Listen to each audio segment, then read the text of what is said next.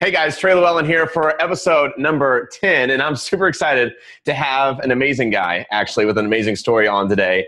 It's absolutely amazing to have you actually. Is Dan Caldwell with uh, the, the, the what, what would you want to say? Like the previous owner, the creator, the, the, the master of Tap Out? Is that a good yeah. title? The founder, I guess. The founder. Yeah, and the- co-founder. Co-founder and we'll, we'll even put it that way. That, that's a good way to put it actually. So man it is it is a pleasure to have you. It's uh it's so cool to have crossed paths with you and then i appreciate you taking the time to jump on here with us and answer some interesting questions because the story you have is just i don't know like not very many people get to have that type of story. So it's it's i think it's exciting to like bring that story to life again and let people relive that story and and see like how life can be if you if you put your mind to it and you're you're so excited and you know what your passion is but uh, but anyways so i want to get into just some real quick stuff so tell me tell me how this all started with like how the snow cone business happened and then how we went from snow cones to the ufc Did I tell you about the snow cone business? I, just don't even know where you got that from. Yeah, that's old. That's really old. Um, so I'd always, I'd always grown up. You know, I grew up in a really bad area of San Bernardino, uh, California, which is um, at one time was when I graduated from high school was the murder capital of the United States. It just wasn't a very good area, and I had always aspired to have more. And you know, I had a really, I mean, I don't want to say I had the worst off because I had the best parents ever, Hmm. and they really brought me up right. I, I, I was brought up going to church, and I went to church um, through high school. I went to church every day, and uh, it was just, uh, you know, it was a it was a good experience in the house. But when we left the house, we'd been in shootouts in front of our house, and our cars have been broken into, and uh, lots of drive-by shootings, and so it was. So outside the house, it wasn't quite the same and uh, so I'd always just wanted more for my life. I can always remember that, and I always thought about my grandparents owned a machine shop, and so I kind of grew up around this machine shop. They didn't make a lot of money, but I just I, I I was always excited about going to the machine shop to you know, and I just couldn't believe like this is all this is all yours. You know, I'd always ask my grandfather you know questions about you know this is all yours like they're you know like this this room's yours and that room's yours and you can do anything you want you know they went to work when they wanted and you know just it was always interesting to me and i always thought you know i want to do something like that for myself and i can remember having little uh, circuses we used to have in our garage where you know you'd build these boxes and you'd have to knock things down. And i'd charge all the kids in the neighborhood like a uh, you know like a quarter to play each game or something. And you know just making little dollars here and there. And i remember it adding up and i and and i thought you know i think that experience of being able to make money by bringing people through the door and you know making a few dollars here and a few dollars there i, I I enjoyed that experience that transactional experience and uh, and and then trying to create something where someone would even want to pay you know where they'd even dig out their lunch money to give that to you so that they could come play this game or do whatever you had set up. I remember also doing a magic show in my backyard and going around selling tickets to all the neighbors. And I had a bunch of grown-ups back there, and I and I, I don't know if I learned magic so that I could do this show and make money from that, or if I just learned magic because I liked magic. I still like magic today, so maybe maybe a little both. And uh, I uh, so I just I just always wanted to have my own business, and I remember ditching school and going to. I drove up to. We lived near Big Bear, at the south of Big Bear. San Bernardino the, is right at the uh, base of Big Bear Mountain, and uh, and Big Bear's like big ski area where everybody goes. And I can remember I'd been up there one time visiting, and uh, and when I went into Subway, there was this uh, guy. I could tell he was the owner just by the way he carried himself. I was probably probably about 15 years old, 16 years old and uh, and I actually I just started driving, and I could tell he was the owner. And I'd asked him if he was the owner while I was getting my sandwich, and he said yeah. And I said, and I just asked him if I could come up and talk to him sometime. You know, is, you know, is there time I can just come up and talk to you? He goes anytime, anytime. Because I'm here every day, Hmm. and so because he had actually lived in Big Bear, although he had owned a few different subways, and uh, I remember ditching high school, ditching my class to drive up to. Uh, to Big Bear to go. It's about an hour, uh, an hour drive. And I'm sorry, Lake o- Lake Arrowhead, and uh, same area, but just a different city uh, up in the mountains. And I drove up to Lake Arrowhead, and I met with him.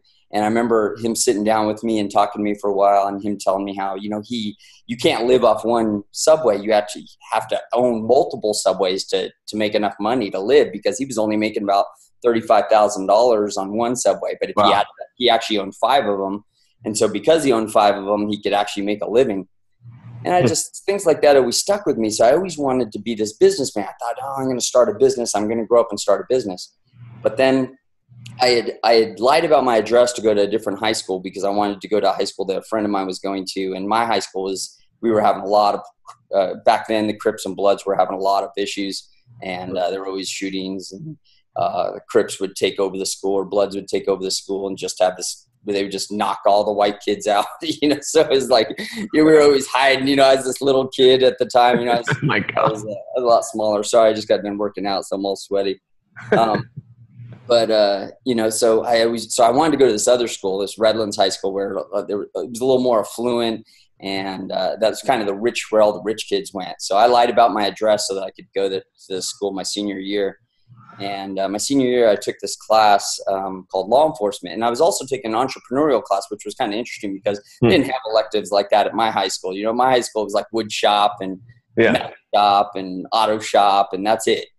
Um, their high school, you had this chance to take um, an entrepreneurial class. I took a speech class. I took uh, this law enforcement class because I was taking all these electives because I, I was a senior. I didn't need as many classes. Oh, damn. And um, and I took this law enforcement class, and it was taught by this homicide detective.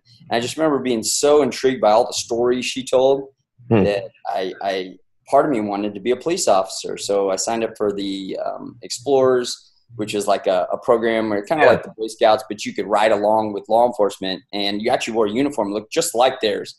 So it was, it was other than having scary. a badge and having a gun, you had a belt on, you had pepper spray, you had handcuffs. You know, you I, I looked like a cop so I was, so I loved it, and I and I and you could ride along with these guys, and I can remember. I mean, I remember being like foot pursuits with these guys. That they would jump on this guy, and I'd jump on the dude, and they would like help me get his hands behind his back. You know, I'm a I'm at I'm 18 years old, and I'm you know jumping on these guys like I'm a police officer. It was I thought it was the best thing ever. So, anyways, I decided at that point I kind of did a career change, and I thought, you know what, I'm gonna be a police officer and yeah. I just focused all my time on being a cop. And uh, I put myself through the academy. I'd started saving up money. I was working at Thrifties at the time, hmm. um, and I was a DJ too. So, uh, so I was DJing, and I was and I was and I was uh, I was uh, putting myself through the academy, and I was using all my money. I was saving all my money so I could put myself through the academy. After I got out of the academy, I ended up getting hired as a police officer, and uh, but before that time, because let's go back to the snow cone shop.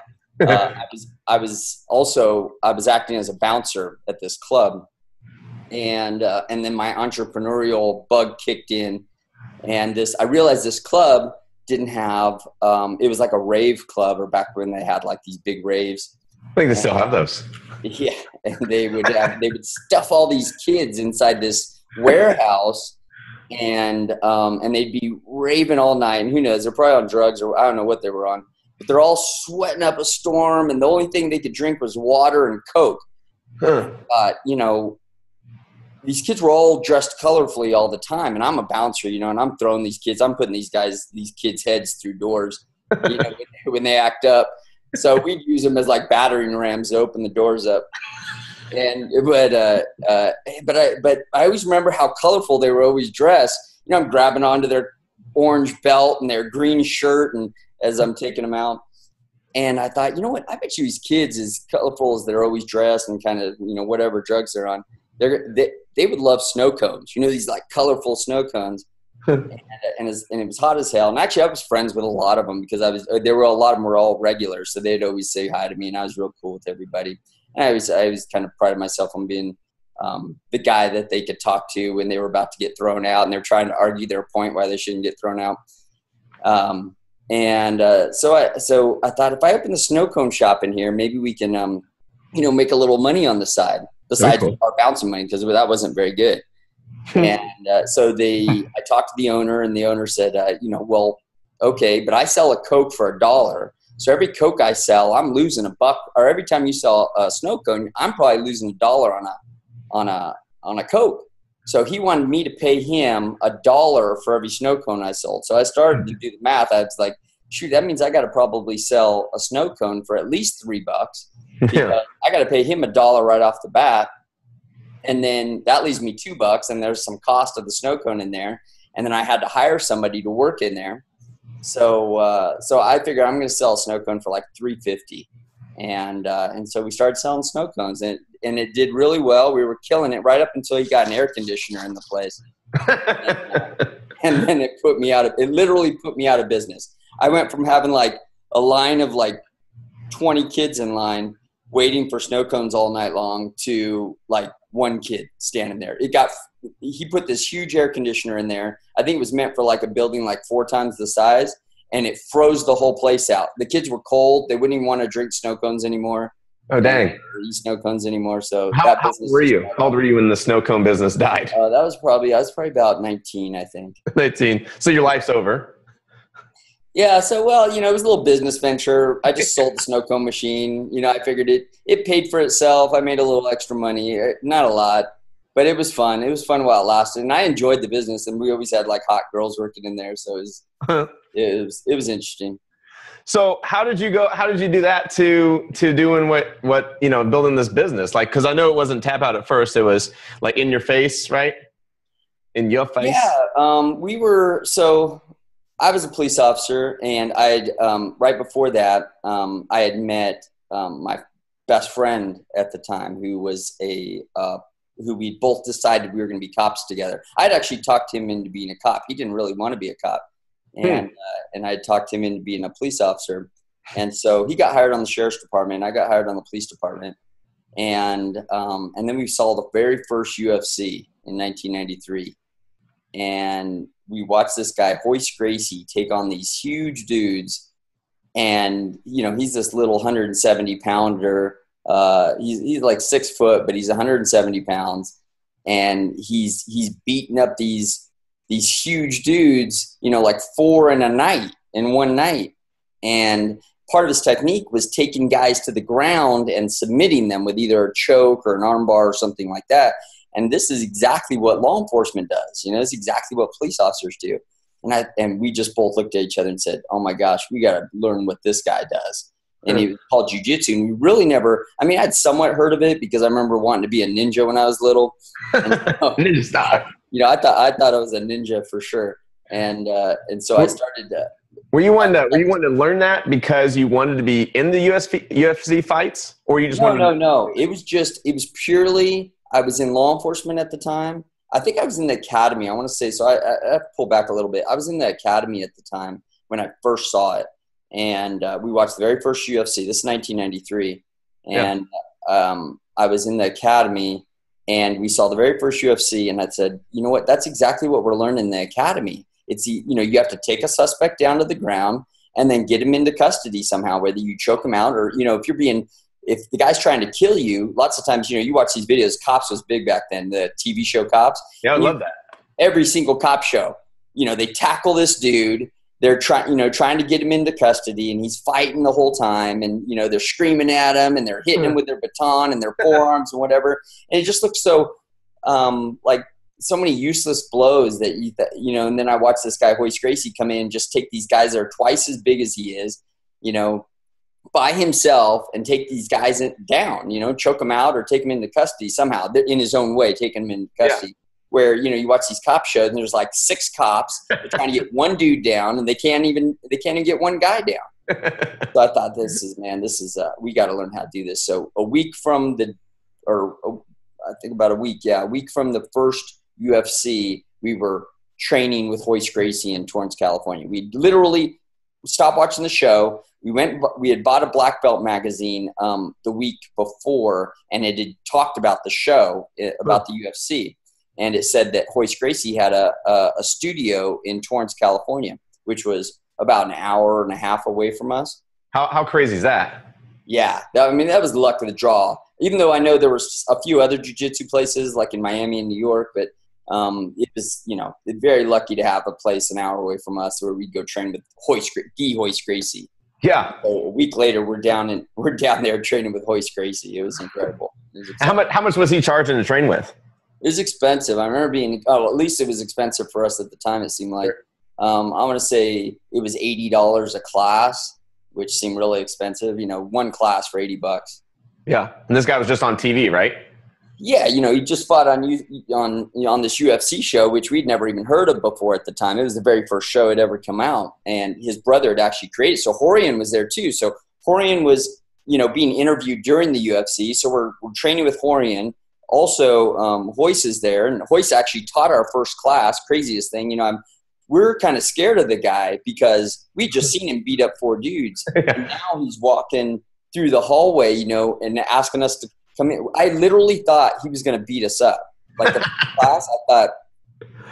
I watched the show, and we're standing out in the in the lobby, and we're watching these um, private videotapes that they have of them beating people up, literally, oh, like in the classrooms and stuff, like beating people up what I didn't know is those were challenges where people had come into their school and said, "Hey, I want to fight you," and oh. then they would go into the room and fight each other. But to me, it looked like these guys had come to train, and then like he just walked them in there and just started, bang, you know, just throwing elbows on their faces and stuff, and you know, punching them.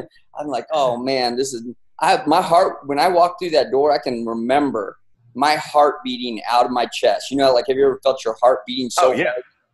like literally feel it coming out of your chest. I felt like I was about to get in a fight. Like I didn't know if we were going to go into the door and he was going to like just punch us in the face or how. But he was the nicest dude. He would get the slowest class you'd ever I'd ever been in because I'd taken taekwondo before and boxing. I'd been boxing for a long time.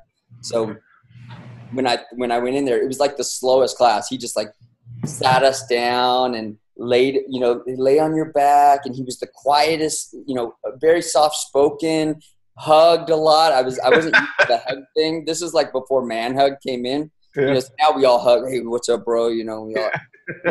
we didn't bro hug back then. Back then, it was kind of it was kind of weird when some guy touched you. You're like, hey, dude, you know, like hey, you know, like, don't it was full chest hugs. Yeah, now now everybody hugs more, but back then I they were they hugged everybody and they hugged a lot and they so uh, it was a little weird for me at first but i was always scared that, that you know it was going to turn tables that first class but it turned out great and and we signed up that same day so you start so you start doing that and then and then so then the next ufc fight comes in and so when how do you start selling shirts on on tables well, what happened was um, I we would go so we go there every Saturday. We could only afford to take one class a week, and um, yeah so we were going, and plus of the drive. So yeah. we go every Saturday to take our class, and uh, and we take turns driving down there. Just my, me and my friend Charles, um, and uh, we would. We remember just seeing how many shirts these guys would sell. They had a real basic shirt. It was just a triangle with a circle around it and two literal stick figures, like what you would draw a stick figure look like. Two stick figures in the middle, like looking like they're about to like do a jujitsu throw or a judo throw Hmm. And uh, and they had it just same logo in every color, just every color. I mean, white, green, pink, three different color greens, three different color browns. You know, it was like just a whole a rainbow of of different color shirts. And I mean, there would be a line every single day that we went there because sometimes we'd go on privates. We'd go take a private class. Like if we thought we could go down there on a Thursday or something, we'd go take one private class with one of the instructors. And um, and every single time, I don't care what day you went down there, what time you went down there, there was two or three people in line waiting to get a T-shirt. You know, just standing there purchasing T-shirts. It was like a nonstop thing. And I just thought, you know what? that's kind of crazy. Like these guys sell so many shirts. I wonder if they sell they make more money selling shirts than they do these classes. Yeah. because I know these classes are expensive, but I'm adding it up and they were selling the shirts for 20 I think they were $21 each. Dang. And and you would just stand there and there it's 21 bucks, 21 bucks, 21 bucks, 21 bucks. That's how fast they were you know, some guy'd walk up four shirts. Oh, some guy next guy walk up two shirts. Oh, give me two, those two shirts. You know, it's just constant sale. And so me and my friend Charles would have these conversations about, man, these guys sell so many shirts. and they would also have these tournaments where different instructors would, as jiu-jitsu started to grow and then more UFCs would come up, you know, you did I think uh, you know UFC two, three, four, five, six, seven, and I think Roy stopped competing around five or six, and and I, and we would we were going to train at these different or compete in these different jujitsu tournaments, which is jujitsu is full gi. You know, you had a full out uh, uh, tournament gi on, and uh, and but when you got there, there were they would always sell their tournament shirts out in front in the same way, and so we we just kind of and the UFC really was kind of lacking color too. So there was no when the guys would come out, they would just wear whatever they had on. I mean, the guys had sweats on. They had, uh, you know, they'd wear their their Adidas shorts or whatever they had is what they would end up fighting in, whatever they felt comfortable in.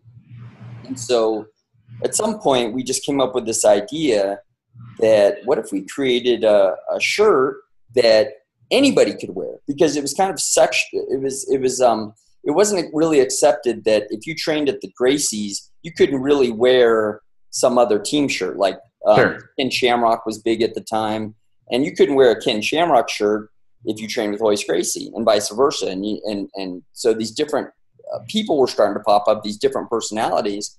In the UFC, and they all had their own shirts. But there was no one shirt that like everybody could wear, except for like Nike or Adidas, the normal clothing that was out there but we thought, what if we created a shirt? Um, and this time, by this time, we're both police officers. Um, he was the deputy sheriff. I was a police officer. We thought, what if we created a shirt that was based around the sport, but um, wasn't um, wasn't specific to any one training facility? And that's kind of where Tap Out was born. And we thought, you know, let's go sell. We could start off selling at these different jujitsu tournaments, and they would charge just. They would let you um, they'd let you uh, rent a booth at the at the tournament, and uh, and and that's how that's how we started basically. So you got this I booth. remember being at one of the booths. Uh, there was a tournament called uh, Kleber's, and um, uh, who's the four hour work week dude? Um, Tim Ferriss. Tim Ferriss is next to us selling a product called Brain Quicken. And we're at these two little tiny tables um, of course, I didn't know who Tim Ferriss was at the time, and he's yeah, explaining to us what Brain Quicken is. It was, it was, a product, I guess, he invented, and I didn't know this until I read his book, The Four Hour Work Week. Um, but I didn't even know it was him until that point. Yeah, I mean, you know, I didn't put two and two together, but I do remember the conversation because he had actually given us both bottles of of this product that he had created, and um, and it was just a you know that's how we all started. Just so, yeah, so you do so you got this, events you got the booth going, and then so what? You just you're just at these booths and doing the UFC. So then when did it? Like when? Like how much money were you making from the booths? Uh, you know, we probably on a good day we were making a couple thousand bucks. You know, it was it was just it started off really small because there was there wasn't. Um, you got remember this is pre real internet commerce. Yeah. So this is 1999, 98, 99. Yeah. And so there was no, there wasn't a lot of internet commerce at the time. That was just starting to come about. But we built a website, but it was basically just a catalog website. It was like a lookbook. You just went on there and we had the products that we had. But if you wanted to purchase, you had to like call a phone number. So just had an 800 number at the bottom. And we had talked to this, um, this uh, little martial arts store into drop shipping for us. So they carried all of our product and so if any calls came in from, we also had a small ad in Black Belt Magazine. Mm-hmm. And uh, so if anybody happened to see our product on, here's here's how here's how hard a you know it was for us to get a sale at the time. To get a commerce sale, you had to have seen the UFC to kind of know who we were. And then if you did see the UFC, you had to buy a black belt magazine to know what our website would be. and then um, and then if you saw the little tiny ad that we had in Black Belt Magazine, that was just basically our logo and it said an expression of combat. And then it said inyourface.com because we didn't own the tapout.com at the, at the time. Yeah. So if you saw that, then maybe you went to the website. If you owned a computer and if you knew how to get online, you went to the website on your dial up and uh, and then you happen to see our website with the shirts and then hopefully you decided to call if you trusted the internet at that time because a lot of people didn't even trust the internet and then if you called um, you could you could make a purchase uh, over the phone um, if the the store happened to be open at the time that you called and they could actually take the order. So it was, you know, it was hard getting commerce sales back then, but it started to grow. And I think about 19 or uh, 2000, I mean, I'm sorry, uh, 1999, um, we embedded our first uh, shopping cart where you could actually do oh, cool. sale online. But it was, um, I can remember our sales, they would come over in an email form you know, so you get like this email that said yeah. you had made a sale, and then you would have to, you know, we were shipping credit.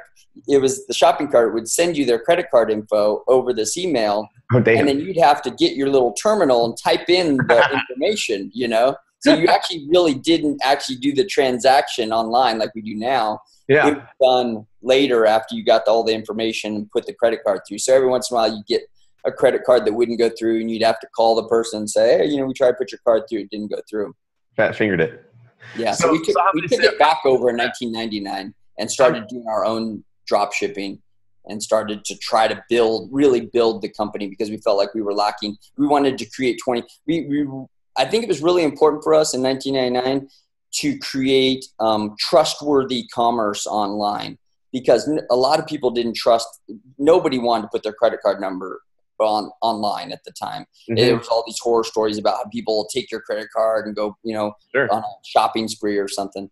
So we wanted to create this really trustworthy commerce online, and um, we we always included our phone number too, really big. In fact, we always thought we'd get more phone calls than we did internet sales, and we did at the time. It was kind of like a lot of people like to call, so hmm. I would walk around with um, myself. So when I was working, I'd be on patrol and I because I was still a police officer at the time, and I would have my cell phone, and I would have the phone number forwarded to my cell phone, and I would keep a um, order forms in my back pocket so that if I got a call while I was on duty, I could take the call. You know, I'd tap out clothing and um, go, oh, I'd like to order some shirts, and I would like turn down my police radio and and I would I would pull out the little order form and get my pen out, and I would t- literally take the order right there on uh, you know over the phone, and uh, and then if I missed a call, I can remember some at some point like maybe in 2000, um, I set it so that if I so it had like a double forwarding. It forwarded from my home 800 mm-hmm. number, which was our separate line. that was an 800 number for our um, orders, and then um, it would forward to my cell phone if I left the house and then if for some reason I missed the call, it went to an answering service that um, would take the call. But it was so expensive for an answering service to take the call. You know, it, was, it turned out to be like a four dollar phone call.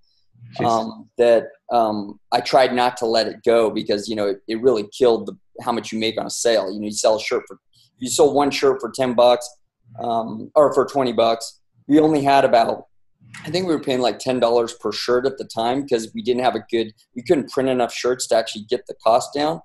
So um, we were paying like ten bucks. So if you paid ten bucks, if you sold one shirt, it was ten bucks plus the four dollar phone call. So yeah. you only end up making like six bucks on the sale, you know. So it's like we wanted to make sure we always answered that phone call if we could.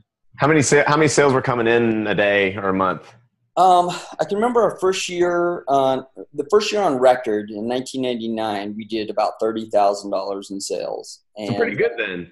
From I mean, it was okay for T-shirts. You know, do you have to sell a lot of T-shirts to sell thirty thousand dollars? Yeah, you do. Yeah, you do. So, how did people like you said? People knew like they'd have to go to Uf- see you on UFC. How were they seeing you, you on UFC and then have to go to black belt? Like, were you? Well, it was just it was a coincidence. You know, that was our only way of really getting the the word out there. So if um if you didn't end up at a, at a jiu-jitsu event or you didn't watch the UFC or you didn't happen to buy a black belt with our little tiny ad in there, there was no way to really find us. You know, okay. like you know, there was no Google at the time, so there's you know it was pretty hard to find somebody at that time unless you knew their exact address online. So, and we had a weird address. We didn't really think about some of these things through when we when we did it, but it was inyaface.com because we didn't own tapout.com. We thought, oh, let's do something kind of hard, you know, that meant something, that kind of stood for something. We are like, uh, in your face, I N Y A F A C E. You even had to know how to spell that. What if you know? What if you thought it was in your face or mm-hmm. in your face? You know, it could have been anything. So it was, it, it, we didn't think that through at the time, but we thought, I mean, but having that ad where people could actually see the word written out And then when we'd go to all these tournaments, we would print out these flyers that were kind of like, um, they were decent ads. You know, I mean, now I look back at them and kind of like, you know, scoff, but it's uh, it, it, pretty cool. Yeah, I mean, we had, the, I remember this one ad, it was a little card we had, and we got this guy, he was a fighter from, um, uh, he was like from Louisiana or somewhere. I can't remember, but he was like our one of our first sponsored fighters that were outside the UFC because we started to sponsor fighters in the UFC. But he wasn't he wasn't like a he was fighting in some of the smaller events that were around the country, and um, his name was Bo. I can't remember his last name, but his name was Bo. And I remember we got him to put his face down on these train tracks, and we like stepped on his face with a, a boot and and and we turned it and that we took a picture like a close-up picture of that where you just see his face all smushed and you know kind of like this and and and and they just said tap out above it. And it was just this boot sitting on this guy's face and it said inyourface.com that was our first flyer. So we'd go around pass that around to people.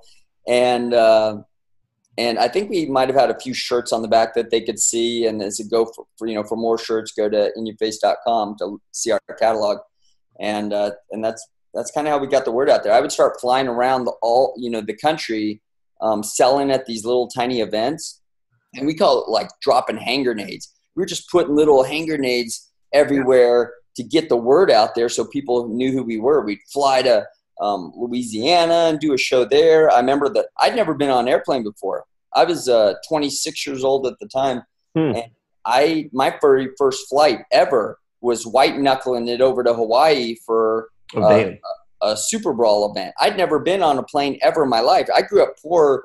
We didn't have, you know, our vacation was like camping in a tent at the beach. That was that was a vacation for us. So I'd never been anywhere, or been on a plane or gone anywhere in my life. So being on this plane for the first time, um, you know, flying out, I, it was like a sacrifice for me. Yeah. You don't understand. Like I was, my heart was pounding out of my chest. I did not want to get on this airplane to save my life. I, I, I, had a firm belief that we should not be flying. If we had, we were born with wings, maybe, but other than that, there's no reason that we should be in the air with this big hunk of metal. So, so uh, was Bo your first uh, your first sponsored fighter then? Um, no, no. Actually, I think you know we had some we had some jujitsu guys at the time. We were sponsoring this guy um, Javier Vasquez, and you know they were jujitsu guys, so they were all you know um, on. But I think our really first spot, uh, sponsored fighter was Jeremy Horn and mm-hmm. um, and Pat Miletich. They fought in the UFC and UFC 18 or UFC Brazil actually um, where they had both fought. Pat Miletich won the won the belt, and uh, actually Jeremy Horn lost to Wanderlei Silva that night. So on that, so like when you when you say sponsor, like like was that a lot of money to sponsor these guys? We just toss them gear, and you're like, hey, no, no, no. Well, you know, we tried to do gear, but gear didn't mean a lot if your brand didn't mean too much. You know, brand wasn't really anything. You know, it's like you can hand. You, know, I'm sure um, you know, as you're starting, I'm sure you started brands before, and you know, when you hand somebody a shirt and they never heard of the brand before, it doesn't really mean a lot to them. So we were a new brand at the time. We're trying to make a name for ourselves until we really started to place heavily in the UFC, which was about money. Mm-hmm. Um, it was hard to get people to wear your shirts, other than they had a cool word on there that had to do with the sport that they liked. And I think the name helped a lot, even though people didn't like the name at first. When we first came up with the name, they didn't really like the name because they thought it meant you lost. You know, like you tapped out, oh, you, know, yeah. you lost. So everybody goes, oh, now everybody goes, oh man, what a great name, right? That's why you guys were successful because you had the best name in the business. And uh, we just, you know, what are you going to say? Because the truth was, everybody hated the name when we first started. Isn't that amazing? Yeah. So I want to get I want to get like into some deep stuff about Tap Out. So tell me about like your I think the biggest thing that came which was you start sponsoring these guys, and then some billionaires come in and and say we want to we want to invest in the UFC, right? And that's right. kind of where I think his name was um, uh, Francisco or something. Fertittas, yeah, Fertittas. Uh, yeah, there we go. Yeah, Lorenzo and Frank Fertittas. So they're the billionaires that um, that own uh, some um, casinos in Vegas, And uh, in 2001, well, the UFC had always had a lot of trouble. So everybody thinks too that we also got into the UFC when, oh, you guys saw it blowing up, so you jumped in. No, literally, it was in its worst state that the UFC had ever been in. Um, John McCain was hating on it. He was calling it human cockfighting. and um, it was it literally at that time had been it was only legal in three states at that time and it was taken off like every cable show it was barely hanging on um, i think pay-per-view was let barely letting it on. It was only legal in like Denver. Um, and, and so they, they were, it was hard to put, they were trying to put on shows outside the United States. They were just trying to figure that out. And, um, uh, the, the guys that owned it, I think it was Bob Meyrowitz, um, had, was trying to figure out how to sell it. And he found some buyers in, uh, Lorenzo and Frank Fertitta. And Dana White had actually, who you know is the president of UFC, now the president of UFC, was the president of UFC. Um, he had came to them. I guess they were childhood friends, and um, Dana and Lorenzo were all training at a guy named John Lewis's school in, in Vegas. And John Lewis had fought at a at an event that was really similar to the UFC, but it was kind of a copycat event that was on television. And he had fought one of the Gracies, um, a different Gracie, um, on that show to a draw, which was you know, it's like at that time, Gracies were like held on these pedestals, and when you had one of the best uh, Gracies in the country or in the world come in and fight this unknown John Lewis, who nobody really knew, but he was actually training with um, uh, uh, an elite jiu-jitsu guy too from Brazil. So he had already he'd been training for a long time with this jiu-jitsu guy. So people, even though we didn't know his name, we didn't know that John was actually a really good player already. Hmm. And um, but when he fought to draw, John had a big name, became a big player. And, yeah. Um, and going back just to back a little bit, our very first tournament, John Lewis was the very first person to buy a shirt from us ever. Wow. So the very first tournament we ever sold at, we were sat there in this little tiny YMCA. I don't know if you guys have YMCA's, but yeah. little tiny YMCA. And it had two mats where they were having this jujitsu tournament. Alan Wrench was throwing this uh, judo jujitsu tournament. And um, we had a little tiny table. It was uh, actually a video of it.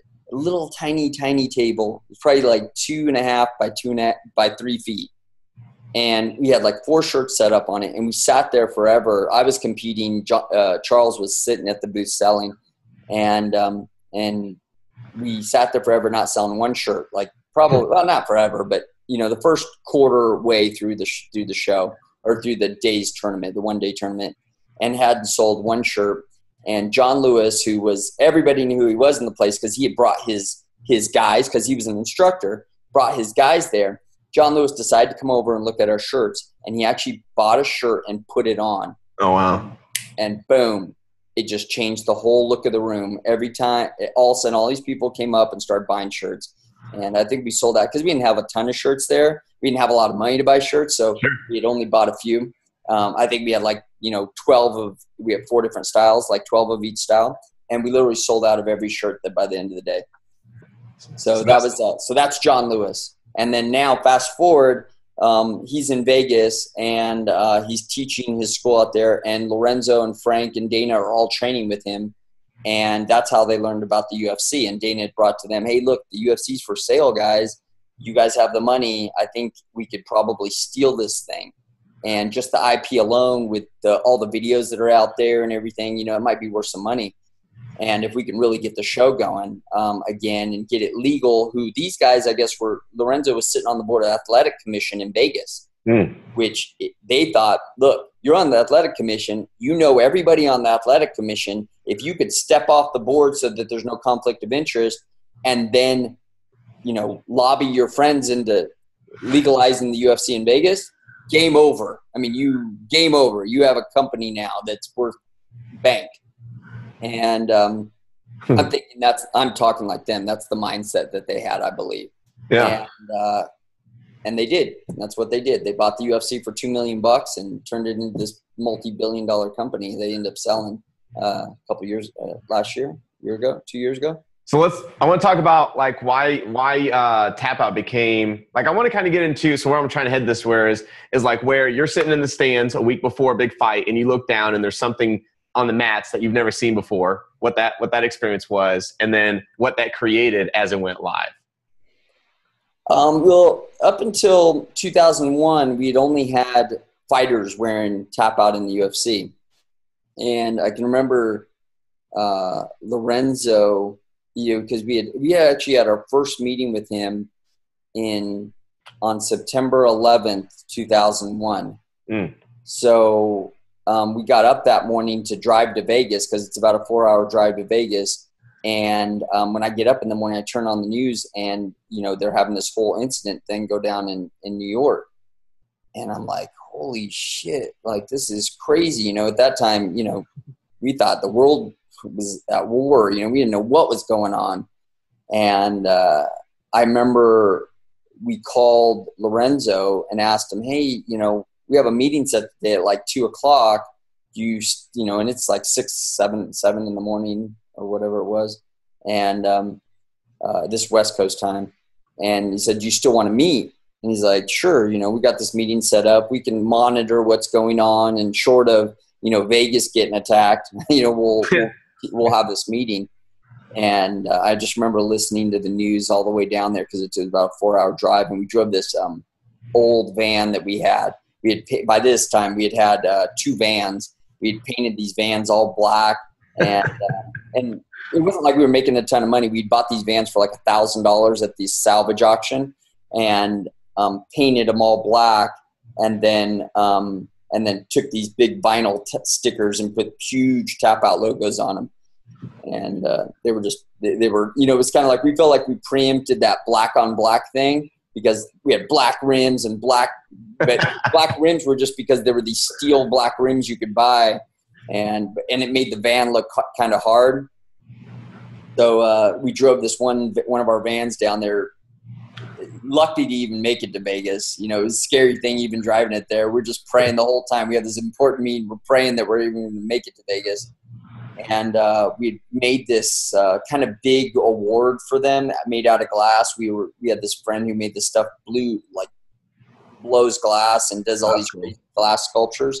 So we had paid like twenty five hundred dollars, which was a ton of money for us oh, damn.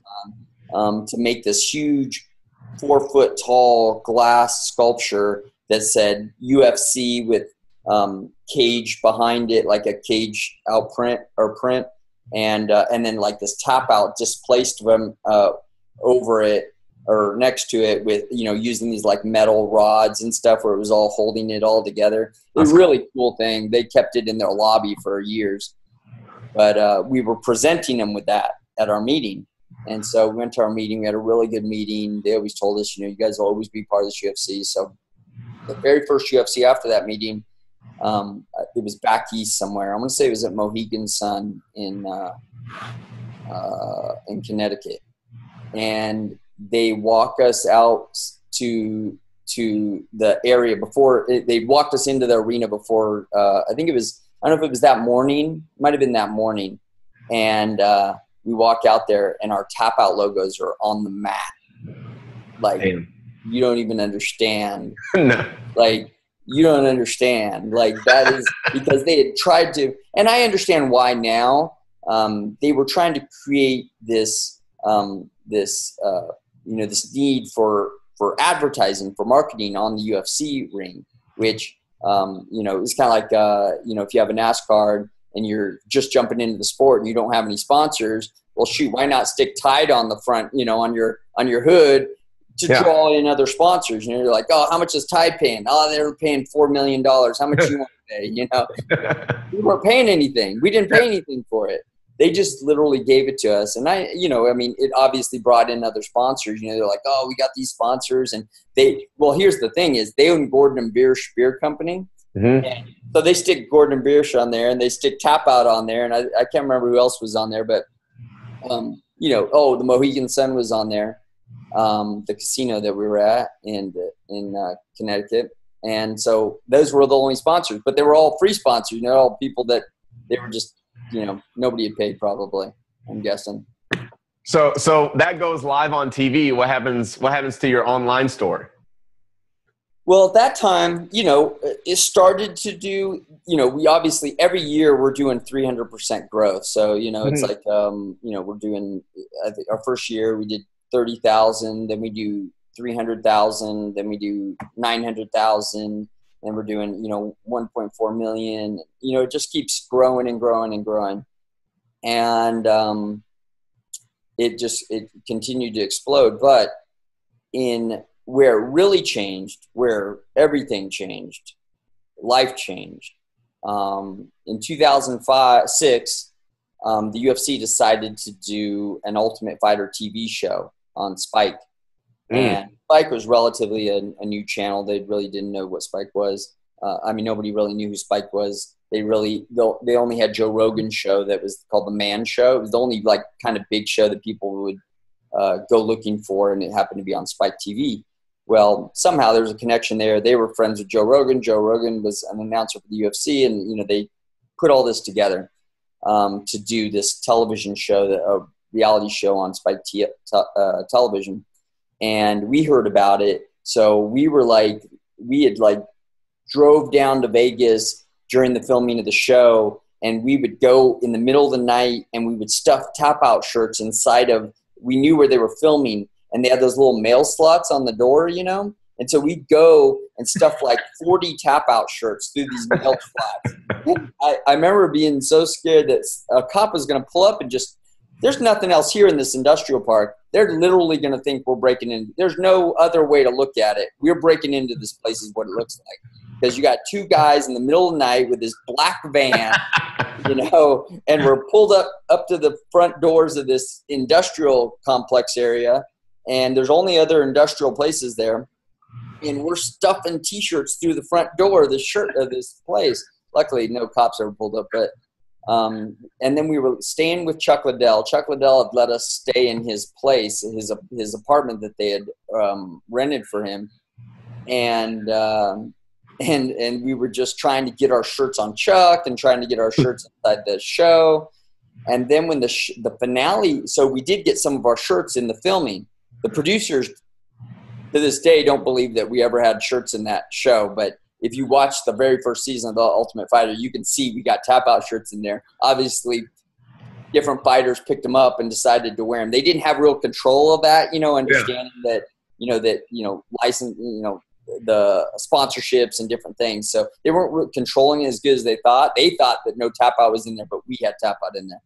and uh, Chuck was wearing tap out a few times, and so it was it was pretty cool. And actually, we had a couple fighters fighting tap out shorts. Chuck had given them to his guys.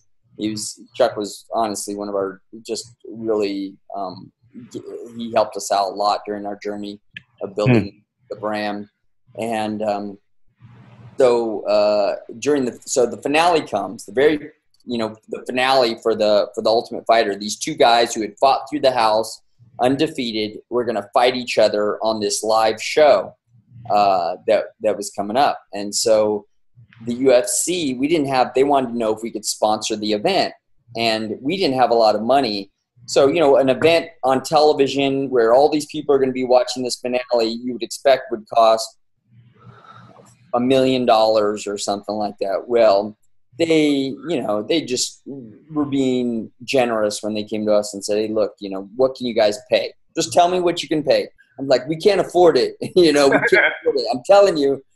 I know, you know, my head the numbers says a hundred thousand is like the least they'll take, and we're doing okay. This is 2006. We're doing okay, but we're still robbing Peter to pay Paul. We're totally self-capitalized. We got no, Mm. even though we're making um, uh, a few million bucks probably, or a couple, a couple million bucks maybe at the time.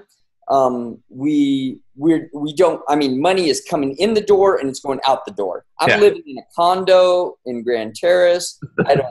we don't have any money. We're barely paying our bills, and uh, but Mm. yet um, they just ask us. how- You know, so they're. I got to think that they think that we have money Mm-hmm. they ask us, you know, what can you guys afford? And I said, I, I don't, I'm just telling you, I don't even want to give you a number because I don't want to, I don't want to insult you. Like, I can't afford it. And she goes, I can remember them um, saying, well, Lorenzo said, whatever you say you can afford, we'll take. And I was like, we can maybe afford 5,000 bucks. and, uh, and they said, okay, fine, whatever you say. And I said, and then I said, you know, but I don't have the cash. Can we like pay you in shirts? so they, they let us sell the shirts in the arena and use that money we, we sold the shirts for to pay for our, our logo on the on the map. Oh, and wow. then I didn't even know this at the time, but during the event, which turned out to be huge on television. I mean, huge uh, for for for Spike TV. Um, during the event, they actually put our logo up on them. You know how, like at the end of an uh, in between, like um, they'll say, "Hey, this event this event's been brought to you by, you know, Budweiser, and this event's been brought to you by Hilton Hotels." And well, then Tap Out pops up. you, you know, your your place for for fight clothing, it, go to inyourface.com. oh my gosh. So we're sitting, I'm, we're sitting front row next to Chuck Liddell, and I hear Dana White come back to Chuck during the event. And I'm talking probably still today, one of the best fights in UFC history. This is Bonner versus Forrest Griffin. Mm-hmm. I mean, one of the best fights in UFC history. Still, maybe partly because it's credited for blowing up the UFC and really making the UFC what it is today, but along with Chuck Liddell. Um, but this event turned out to be huge for the UFC because at one point, I guess Dana White comes back to Chuck and he goes, I can hear him talking, whispering to Chuck, and Chuck leans over and says, 10 million people are watching the show right now. Whoa. Somehow Dana got numbers on the spot, you know, from them, and, and it was just crazy. Ten million. Get out of the event. Um, we're jumping in the car. I can still remember. We're walking out of the event. It was at the UNLV, uh, an event center at the U, uh, University of Las Vegas, and we're getting into our truck and our big tap out truck. We had a suburban by that time, and it was big old tap out logos on it. was big black lifted suburban, with all black rims, everything. And uh, and I get a call from my web guy who literally says, what the fuck is going on? and our site had like blown up. And he goes, dude, you're getting 3,000 orders an hour right now. Holy jeez. I said, what?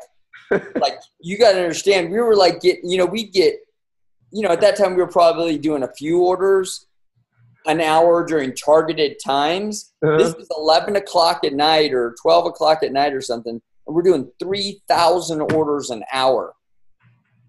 And I could not, I mean, we, we started trying to figure out, he goes, dude, your whole system's crashing right now. I'm doing everything I can to keep it up. But poor IT guy. Shut off. We had, we just had credit card processing. But here's the bad thing: we didn't have any um, at that time. Most shopping carts didn't have a, um, a an inventory back end system. So if you sold something, it wasn't because it knew you had it in inventory. If you had it up and available, it, it was available. Mm-hmm. And um, so we sold a lot of shit that wasn't available because we did, you know, we we had like four in the warehouse, you know, like four of this size, and we just sold, you know, 150 of them. You know, it's like huh. four medium gray tap out shirts, but we just sold 400 of them. you know, it's like it was crazy. And he says, all I can do is capture the credit cards now because we can't process them. Your processor is not working fast enough. So we have to shut that whole back end down. We're going to have to capture the credit cards so that you can take orders because he says it's it's creating a you know I don't know all this stuff, but it's creating a bottleneck and um, it's it's making orders, it's turning orders away. It's not yeah. letting them process. Yeah. Because it's not being able to process the orders fast enough. So to be able to take in all the orders, so you stop losing orders, um, we're going to just capture the credit card numbers, and you're going to have to manually process all these fools, after, you know, later down the road, which actually turned out to be a blessing because um, the ones that we did process turned out, you know, it, it took us like three months to get caught up with all these orders that had come through on this night or the, over the next week or two.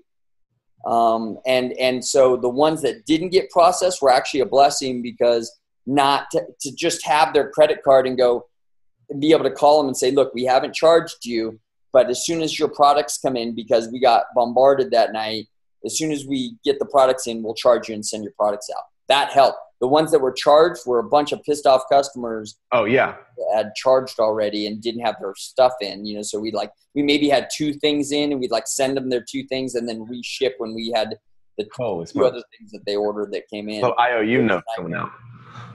So that so that was a big change for you. So so the same so in 2006 you also sold a percentage of the company off. Yeah, um, 2000. That might have been 2007, somewhere in there. 2006, seven. It was right around there. Um, yeah, we sold a, a sold a little piece of the company. We we needed money to grow. We were like it was out of control. We really tried to be self capitalized. It, it's really hard maintaining inventory, especially when you have you know you have to buy a bunch of product and then Mhm. sell the product and use that money to go back and buy more. It just you don't realize how hard that process. I couldn't understand why we were so poor.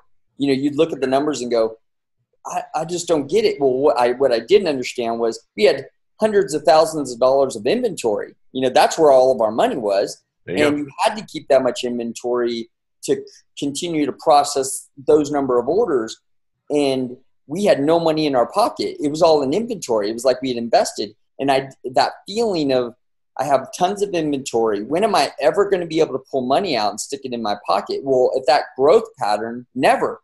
You know, if as long as you continue to grow at that level and at that speed, you're never going to be able to put money in your own pocket. So we had to create, um, you know, some sort of uh, something in there uh, where we could finance our orders, and and we figured that out through bringing in an investor, and that helped a lot. And we took a lot of money off the table right away. So it was the first time I'd ever got a million dollars sitting in my account. I'd never seen that before. I woke up one day. I mean, I didn't wake up. I'm sorry. I never went to sleep. But you know, I you know, you looked at your. I think we left their office, and I remember just continually calling my bank, listening for my because back then you didn't really have internet stuff. You know, re- you weren't really able to jump online, or if you were, I didn't have that. Um, so you'd call your bank and ask for your bank balance. and so I was calling. I was like, "What's my bank balance?" Oh, 42 bucks. Okay, never mind. I'll call you right back. So I'd wait, you know, and I wait, and then and then I okay, let's call again. I call back. What's your bank balance? 42 bucks. Okay, never mind, never mind. And I call back. And I call back. And, what's your bank balance?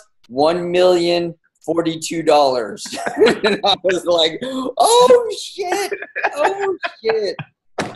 Something And, uh, finally happened. I think I called like four more times so I could just that so just so the person that you know the operator on the phone could go one million forty two dollars. I go really? Are you sure? Did you check it again? Yes, one million forty two dollars. Okay, are you sure? That's in my account. Yes, one million forty dollars. Okay, thank you. Oh, And then you're like, we made it. We made Yeah. it. What did you do? What did you do with the money right after you got it? stupid stuff really stupid shit i just um i think the very first well the very first thing i did well yeah i mean you know i did some good stuff too i, I bought my parents my we lived in a really really bad neighborhood by then the neighborhood was really really going downhill my um i can remember my mom got mugged in front of our house, like right at our doorstep. She got tackled and her purse ripped out of her hand, and it was, uh, you know, by then there were shootings all the time, and and I had moved out, so I had moved into a little bit nicer area of of the city, and or outside the city in a neighboring city, and uh, and I just I remember telling my parents, "You got to get out of that house," and so. Um, I uh, I uh, I bought them a new car um, they'd never owned a new car in their life, and so I surprised them one day. I had them come over. Uh, actually, I was at their house, and I had I had had my parents buy them a new car. I mean, I had my brother buy them a car. I go find them a nice Lexus, and uh, so um, he, he he drove up in the car, and they're like, I was like, oh, Damon. We had this little skit planned out where he would pull up in the car as, we, as I had brought him outside, and uh, and they're like, "Hello, hey," Da-" you know, they were like, "What's Damon driving a new car for?" and he just walked up and handed them the keys to their new Lexus. It was the best. And then um, it was right before Christmas. My mom got mugged, so this is like the same year, but it was the back half of the year. And because I'm ashamed to say what the first thing I bought, which was a Lamborghini for myself. Right. But uh, the second thing I bought was a car for my parents. I bought a, a Cadillac for my grandmother. I remember calling. She lives in Texas, in San Antonio, and I remember calling her um, the uh, uh, Cadillac dealership out there and going, "Look, I see you have a Cadillac on an ad. I'll pay your sticker price for that. I don't want to. I'm not going to try to jog you down at all. I'll pay you exactly what your sticker price is, but you have to promise me you'll go videotape the delivery of this with two dozen flowers." And uh, and so they said, okay, absolutely, we'll do it. well, he said he had to jump off phone, ask his manager, and he came back and said, okay, you have yourself a deal. So I wired them the money for the Cadillac, and they drove up a brand new Cadillac to my grandmother's house and um, with uh, two dozen roses and filmed the whole thing. So I still have that on video, which is that's awesome. cool. And um, and who and I credit my grandmother because she did. Um, at one point, I remember she given. She gave us a little bit of money to go out and buy a, a, a sales trailer Mm. Um, I didn't. I we couldn't figure out where we were going to get the money. We knew that the sales trailer could really help us out a lot because there were some events that were being held outside, and so she gave me the money to go. It was like five thousand dollars, and she gave me the money to go buy that trailer, which you know was awesome. And I always remembered that. And I always said, I said, Grandma, I've been telling her since I was little that one day I was going to buy her a new Cadillac, and uh, and so oh, I was able true. to fulfill that promise. And then uh, that Christmas, my mom got mugged in like uh, September or October and um, and so I started looking for a house for them, a new house. And I found this beautiful house up on top of this hill. It never been lived in. Um, it kind of like it, uh, it, it, all the houses around it had been bought, and it was the only one story house that hadn't been purchased yet. And it overlooks the whole valley and beautiful area, super nice area with security, and that doesn't even need security because it's just brand new houses. And um, I, I I told them that we were going to like this Christmas event, and uh, and I got him to the house, and and as we got to the door, I uh, whew, I get choked up just talking about it. Um, as we got to the door, I had had the whole place decorated professionally by a, oh, by a, a decorator, so it looked like a model home. So I got I I pull out the keys and I open the door, and they're like weird, like why are you opening up the door to get in? And I open the door, and all it's, it's all totally furnished and brand new furniture, and it looks beautiful because it looks like the model home, you know, in the neighborhood. Uh-huh. And um, and they walked in. I just said, "This is, you know, here's the keys to your new house." Wow.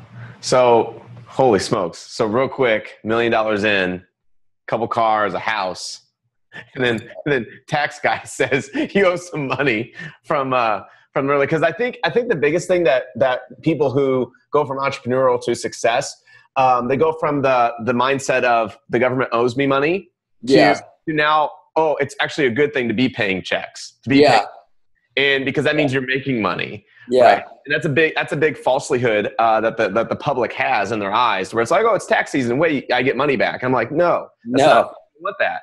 But for you, like you went from having forty two dollars in your check, so I'm sure you're getting money back from your tax accountant, to where like, yeah, your business is at a loss. To now, yeah. holy smokes, you you did really well this year, and uh, and then this is what you owe in taxes. So do you remember that?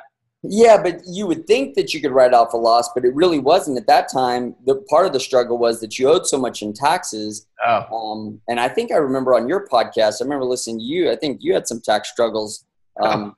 when you were building your company, if I remember right.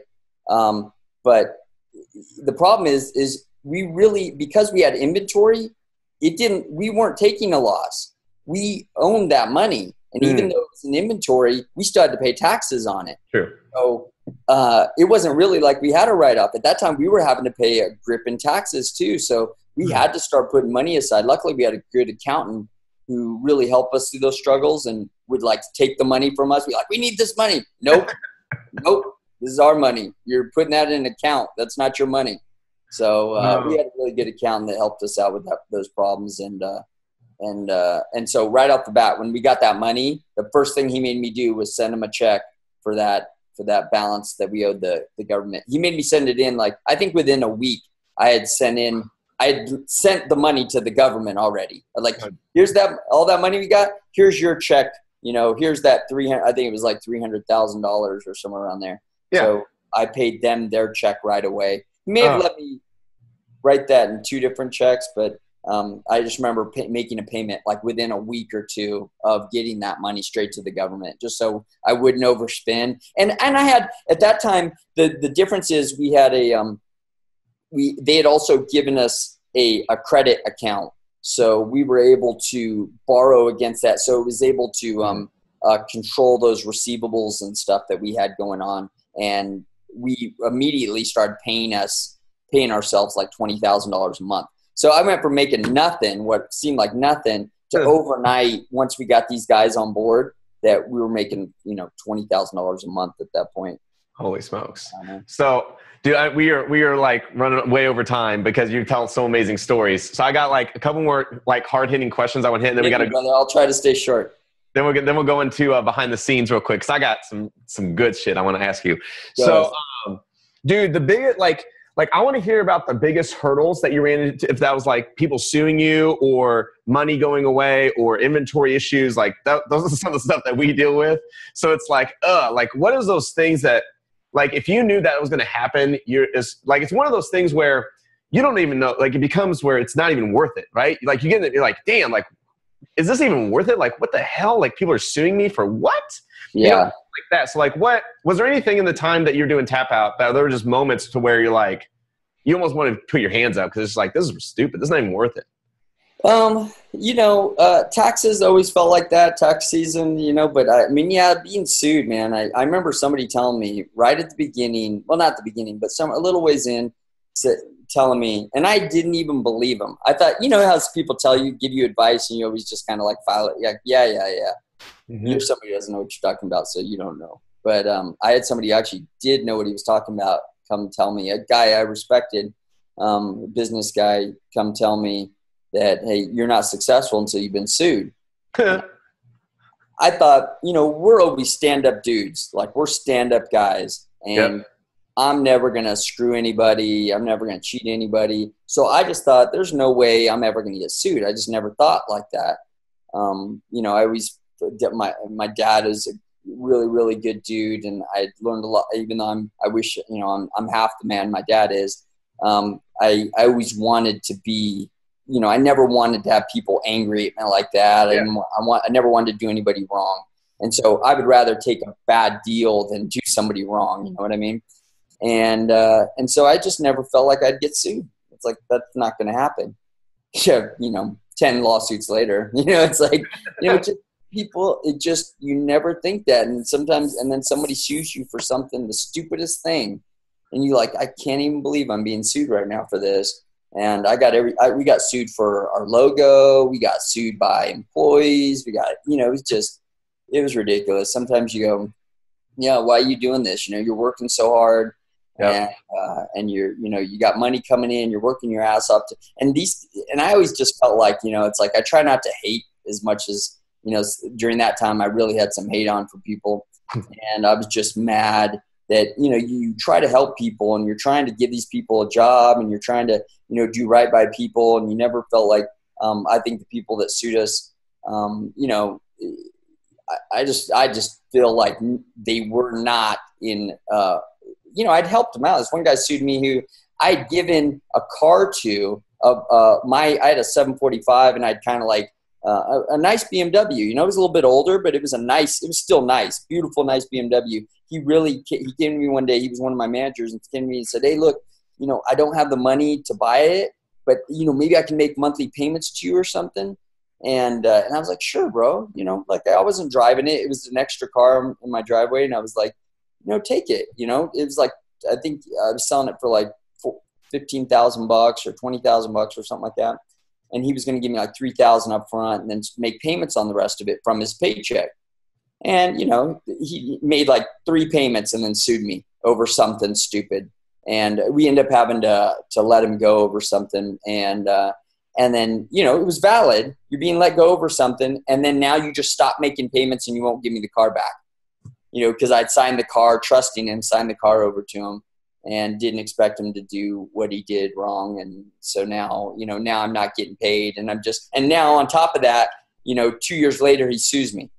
So it just you know you just feel like why are you helping people? Why are you doing all this stuff and trying to make money? And you know it'd be so much easier to just go get a regular job. But mm. i just know i wouldn't be happy doing anything else you know than what i what i have the passion for. Yep. I dude, I'm, I'm there with you so so you get you get a phone call. I don't know how it worked out, but like, how did you how did you how did the people uh, come to you and say we want to buy Tap Out? Like, how'd that come about? Um, well, you know, my partner got killed in 2009. And I think after that, I, you know, we were, I mean, we were best friends for, you know, years, almost 20 years. Um, just all my passion was based around that me and my best friend were building this company. Mm-hmm. And, um, and then also, you know, we had a, another friend too. And, so I just I just lost the food lost its flavor, man, and I just didn't want to do it anymore. Mm-hmm. I, I, I like doing it, but I felt like my level I wasn't running at the same pace anymore. Yep. I was I had pulled back and I just wasn't feeling the same. I didn't feel like doing the same level of work because part of what we did was showing each other, you know, it's like that conversation, man, look what I did. And then you yeah. go, man, look what I did. And yeah. I got this fighter. And oh man, you got that fighter. Well, shoot, I got that fighter. You know, and we like come over the top of each other, trying to outdo each other all the time. and uh, and it, we just, I didn't have that anymore. Everything that we did together, um, you know, we the, he, when I went out and bought a Lambo, he went out and bought a Ferrari the same day. You know, he ended up getting killed in his Ferrari, unfortunately. And so, but you know, I always there's I, everybody asked me, you know, like, were you really like? Of course, I was sad but there was some comfort in knowing that my friend had got there. You know what I mean? All the things we'd ever talked about, yeah. building the company to this level. And that wasn't so much about money, but money does hold, you know, is some way to keep score. Um, sure. Building the company to this level to where people would want to invest in you and being on UFC and sponsoring all these fighters and having all this infrastructure and 100 and, you know, 200 employees um, you know, being able to buy our dream cars because uh, we'd always I'd had this Lamborghini tattoo on here, and I said one day I'm going to get a Lamborghini. It's going to happen. You know, I was just willing it. I was willing it in my head. I said it's yeah. going to happen. And him, he was doing the same thing. We just talk cars sometimes. Man, man, what kind of Ferrari are you gonna get? You know, man, what color Lamborghini are you gonna get? Man, you gonna get wheels on it? You know, we'd have these full blown four hour conversations about cars that we didn't even own yet and um, you know, so when that was gone, I just it just didn't feel the same. You know, I'm sure you know you have your brother or somebody like that, and you're. It's a similar um, story. Yeah. Cops thing, you know, police officer, like it's pretty wild. There's something to that, maybe. Maybe more yeah. police officers should start businesses. Well, cops are notorious for having side businesses. Every yeah. cop I've ever known's got some side business going. Something going on. Something going on. So, man, you, you wrote the you wrote the you signed off on the contract. The the deal is signed. It's hands off now. What the next day feel like? Um, well, actually, I stayed on for another five years as president of the company. Yeah, okay. so I didn't leave right away. So I just they had their own infrastructure. I was more of a figurehead. You know, it became more that figurehead piece. But you know, I mean, I had to. I mean, dude, it was the craziest roller coaster ride. Like, I mean, there's. I, you know, I'm a dude from San Bernardino who was a police officer, not even at a good police department.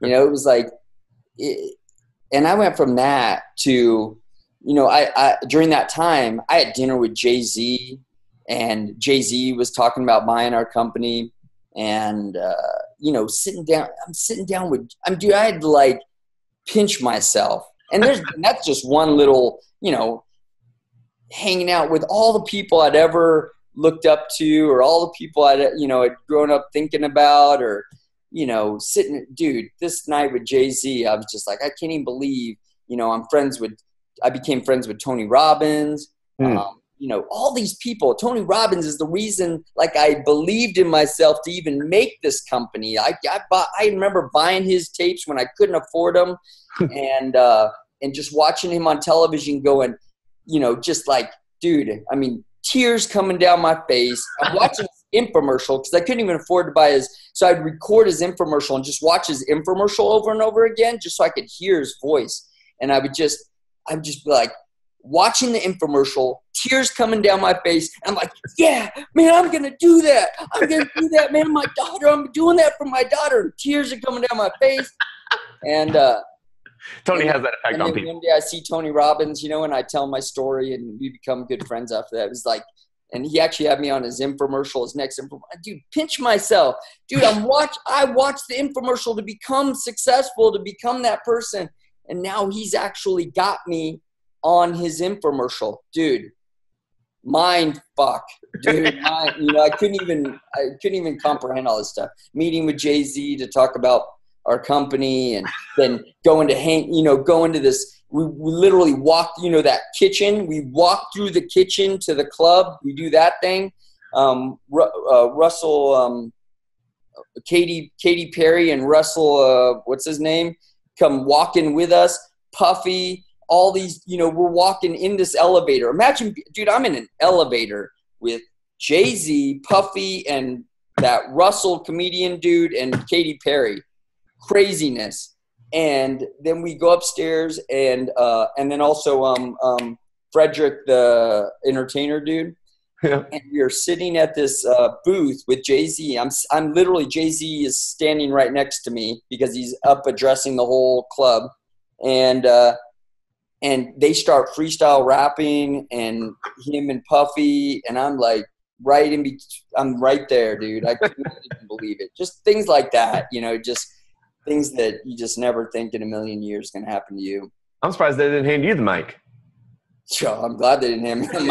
I would have, I just had this and nothing to say. Nothing would have rhymed for sure. it wouldn't have been. That would have screwed the whole show up. Oh man! All right, so I want to go back into uh, behind the scenes with you. You've been so amazing. Uh, this has been fantastic, by the way. Probably one of our longest episodes to date. Uh, so I got the two questions I'm going to ask you on the behind the scenes, and plus a couple other three ones hidden. So, how Martha Stewart, of all people, uh, made a big impact on your life, and the biggest challenge that you're facing uh, today after after everything's been sold and what you're doing now and things like that plus uh, plus three questions. So we're gonna hit that. Guys uh, check out uh, behind the scenes at kommerce kommercekings.com forward slash vip that's kommercekings.com forward slash vip we'll be back there. Thanks again man. Um, thanks again dan. I appreciate you brother. Thanks for having me Trey.